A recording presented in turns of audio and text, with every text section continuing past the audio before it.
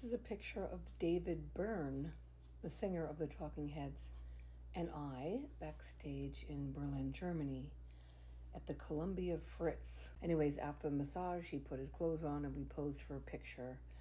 And then the whole band went on stage and um, he was standing alone in a hallway with a guitar, an acoustic guitar, practicing the Whitney Houston song, I Want to Dance with Somebody. And I was looking around, I'm like, I can't believe I'm witnessing this alone.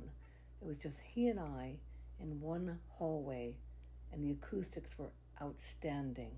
And he sang that song, I Want to Dance with Somebody, but in a very different way. And those are the kind of moments that make my massage career so worthwhile. It's never been about the money, it's always been about the music. And David Byrne is one of the most talented people in the music industry.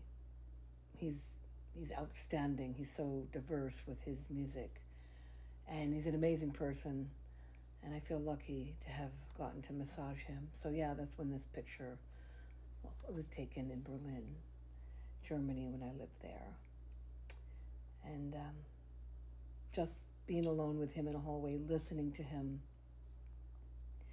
sing that song before he went on stage was something I'll never forget.